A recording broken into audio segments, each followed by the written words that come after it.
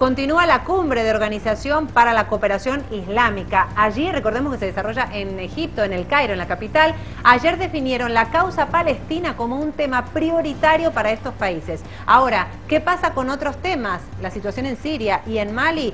Pablo Osoria, nuestro corresponsal allí, nos trae detalles. Pablo, adelantanos. Gracias, un saludo a ti y a la audiencia de Telesur.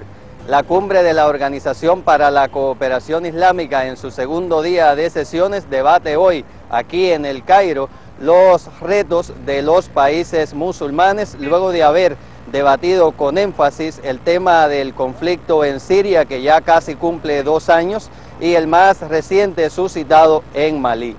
También los eh, asistentes a esta cumbre en la agenda de este jueves está incluido la pobreza en casi la mitad de los países que integran esa organización compuesta por 56 naciones de confesión musulmana. Debatirán también el tema relacionado con la reciente islamofobia, recientes expresiones de islamofobia, principalmente en Europa y en Estados Unidos. Nosotros les mantendremos informados acerca de esta reunión que concluye hoy aquí en el Cairo. Bien, Pablo, gracias. Segundo día.